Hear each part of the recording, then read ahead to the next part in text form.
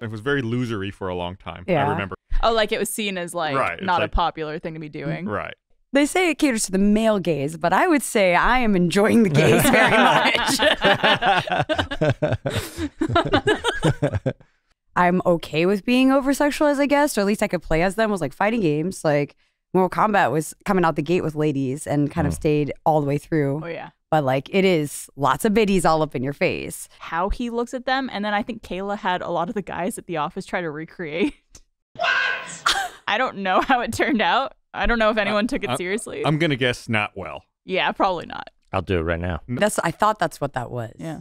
I called them my magic pants.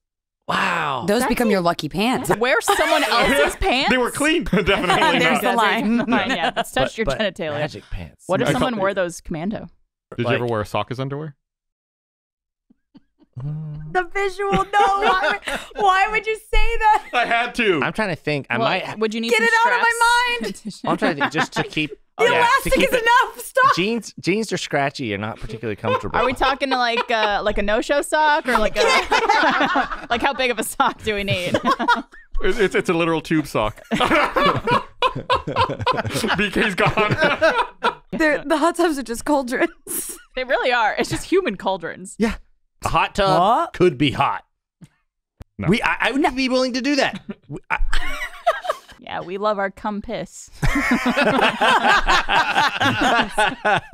right. Thanks for watching. everybody.